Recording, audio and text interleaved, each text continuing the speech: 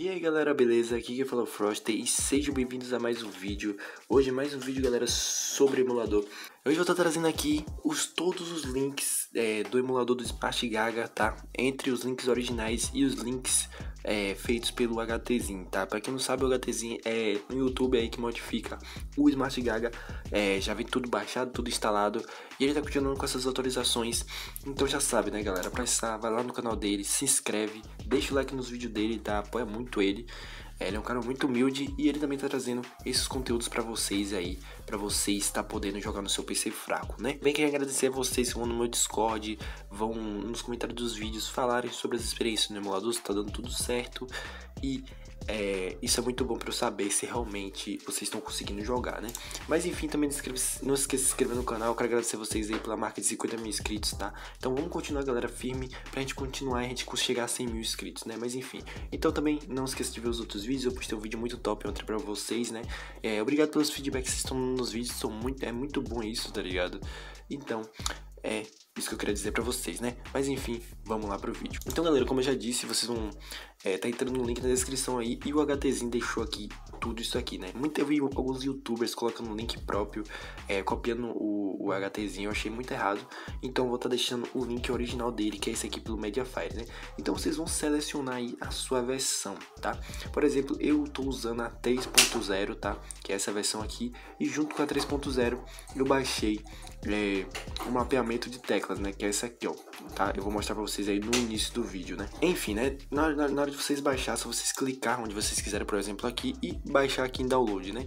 E vocês vão estar tá baixando, tá? Lembrando que essa versão do Android 4 é mais leve, tá? Então, vocês podem baixar essa. Eu baixei essa aqui para mostrar para vocês aqui como vocês vão fazer, né? Mas enfim, então é isso aí. Vocês estão vendo que são arquivos pesados, mas é porque vem com o Free Fire instalado, tudo configurado, né? Mas enfim, vai estar tá aí. Eu já fiz download do Smart Gag 3.0, que foi essa versão aqui, que tá corrigindo o bug do Facebook e do VK, tá? De você logar e o mapeamento dele. Enfim, para instalar é bem fácil, só vocês clicarem no instalador dele, tá? É, como eu já disse, é, essa versão modificada aqui vocês podem ter totalmente segurança, tá? Eu testei é, aprova essa, essas modificações, porque são modificações leves, né? Onde o Free Fire já vem instalado, né? Pra quem não sabe, o Smart Gaga tá tendo muito pro problema e ele tá de volta, né? Ele voltou sem sua tela azul. Então muita gente clamou por isso. Isso é muito bom, né? Bom saber que muita gente vai poder ainda usar o Smart Gaga jogando Free Fire. O instalador já abriu aqui, então já posso dar Accept, tá? E vocês vão escolher o local onde vocês vão estar instalando, né? Eu vou dar um exemplo aqui da área de trabalho, mas vocês podem instalar em qualquer lugar do seu computador. Vou instalar na área de trabalho mesmo e vou apertar aqui em Install, né? Lembrando que vocês têm que saber aonde vocês vão estar instalando, tá? Que vocês vão estar precisando usar, né? Então já sabe, já se inscreve no canal do HTzinho pra continuar apoiando ele nesse conteúdo. E é isso. Então já vai estar instalando já tá extraindo todos os arquivos, mas como eu já disse, galera, botem no lugar que vocês sabem onde vai dar certo, tá? Um lugar que vocês sabem onde está o arquivo, porque a gente vai precisar disso para fazer o mapeamento de teclas e etc, né? Pronto, a instalação já foi concluída, é, apoiem o Gato no Instagram também, né? Mas enfim, vai estar tá aqui, vocês estão vendo que criou duas pastas aqui, tá? Essa pasta aqui é que vai estar tá abrindo onde vocês vai abrir o emulador, né? Mas essa pasta que vocês podem pegar e excluir, porque a gente vai usar por aqui mesmo, né? Como eu já disse, galera, essa parte do mapeamento, o que, que a gente vai fazer? Vocês podem abrir se vocês fizerem um mapeamento de teclas do HTzinho, então para vocês colocar, vocês vão vir aqui e vocês vão até o local onde você instalou no emulador, como eu já disse, tem que lembrar. Vocês vão clicar aqui em Smart Gaga, dar OK e extrair, tá? Eu não vou precisar desse mapeamento, só botei aqui de exemplo para vocês, né? E o que vocês vão fazer?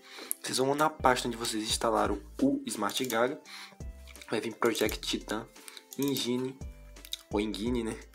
Vai vir aqui em Launcher, clicar com o botão direito, vai vir em enviar para e vir enviar para de trabalho, né?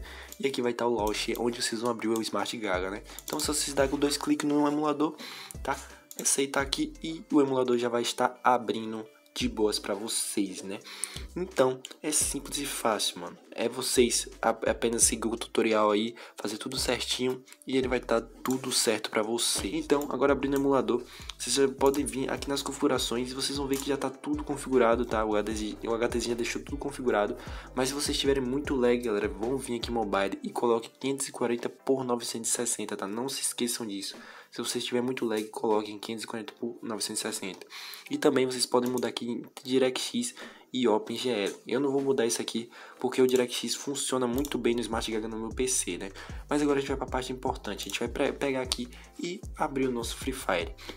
Ele já vai estar tá aí configuradinho, né? Então eu posso apertar aqui, tá? Pra gente fechar isso aqui e o Free Fire já vai abrir, né? Isso aqui é uma facilidade para muita gente que tá tendo muita dificuldade em abrir o Free Fire, ou quando abre o Free Fire ele tá com tela azul, ou algum problema do tipo, tá?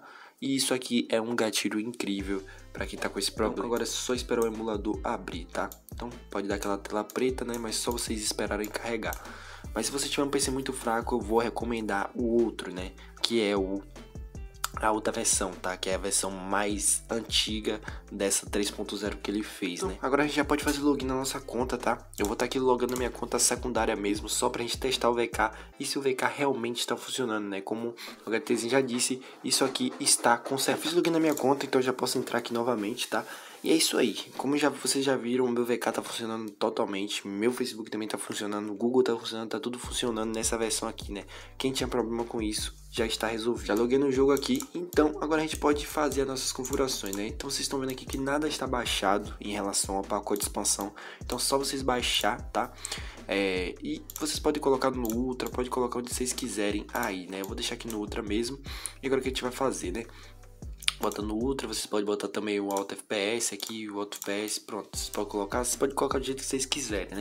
Mas enfim, né? Agora a gente vai fazer o que? A gente vai vir em configurações, estão vendo que a acessibilidade ele deu uma aumentada em algumas coisas e a minha acessibilidade de Smart Gaga eu deixo tudo 100, porque é que eu mais me adaptei, né? Não sei porquê, mas eu não consigo jogar no Smart Gaga sem estar com tudo 100, né?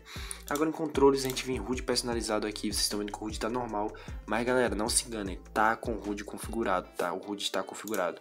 Como já disse, eu não usei o HUD, é, uma mapeamento de teclas dele, porque esse HUD aqui já deu, já deu funcionalidade total, né? Mas outra coisa, antes de a gente configurar o HUD aqui, vou falar uma coisa pra vocês. Se vocês quiserem mudar o idioma do jogo, vocês virem aqui e botar o português e reiniciar o jogo, né? Vou deixar em inglês aqui mesmo, enfim, né? Aqui em custo HUD, a gente pode fazer a configuração do HUD, né? Então a gente pode clicar aqui nas teclinhas aqui que tem aqui do teclado, vir aqui e deixar normal mode, tá? Vocês deixem normal mode, tá?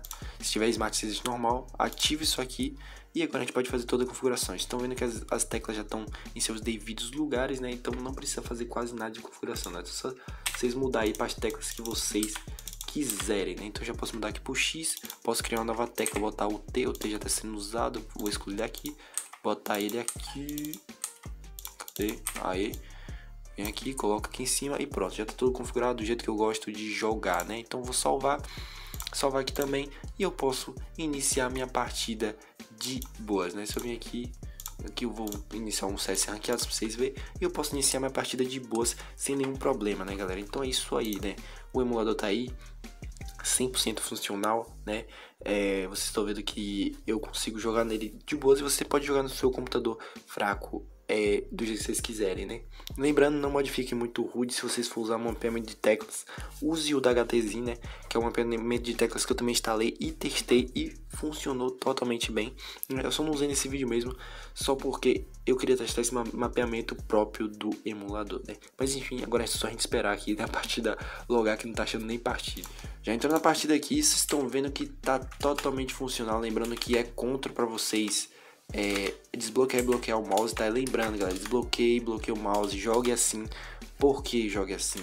Porque você não vai ter bug, tá? Muita gente diz que tem bug, que não consegue desbloquear e bloquear. Galera, vocês têm que desbloquear e bloquear, vocês têm que acostumar com isso.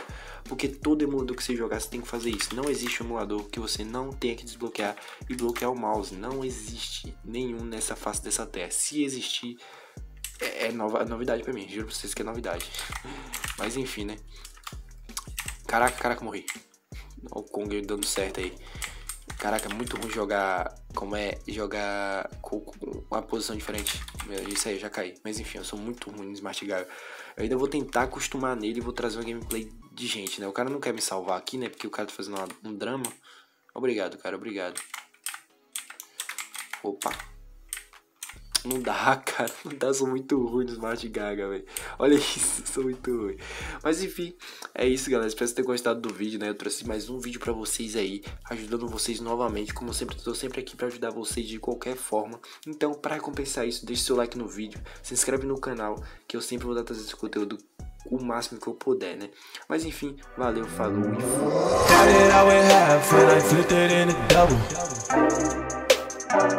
e that I would have, and I flipped it in a double. We gotta go, go. Take one, then I dash away from Popo. Yeah. Slicks around